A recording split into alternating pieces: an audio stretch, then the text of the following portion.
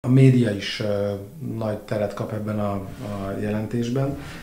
És mindig elmondom, hogy sosem voltak aggódó hangok akkor, amikor a magyar nyilvánosság kis túlzással, legalábbis a közéleti nyilvánosság a Napkelete című műsort jelentette, a, annak elképesztő elfogultságával.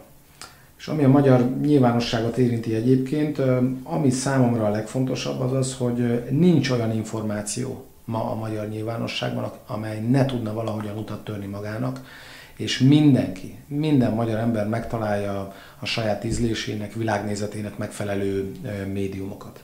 És hogyha az egészet onnan közelítjük meg, hogy mennyire sokszínű a magyar média, akkor azt tudom elmondani, hogy 2010-hez képest sokkal több médium van Magyarországon, és ezen belül sokkal több a baloldali médiumok száma 2010-hez képest, sokkal több jött létre, mint amennyi megszűnt.